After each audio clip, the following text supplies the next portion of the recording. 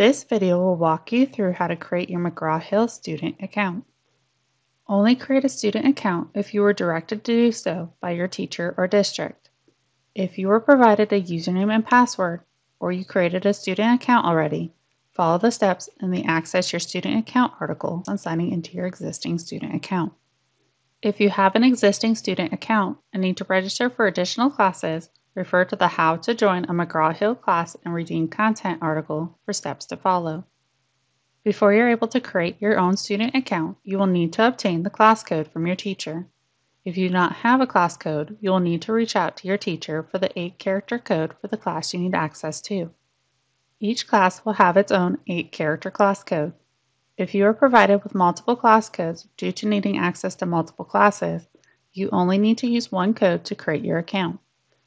Once your account is created, you will then be able to add the additional class codes you were provided to access all of your classes from your one student account.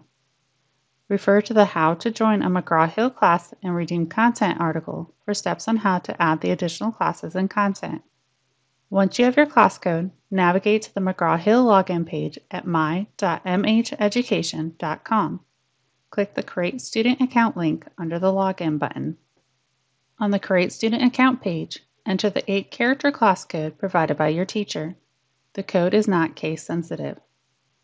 In the My Information section, enter your first name and last name into the appropriate fields. Enter a username for your account. Do not add any spaces in the username as it will cause complications when you sign into your account. We recommend using your school email address if you have one.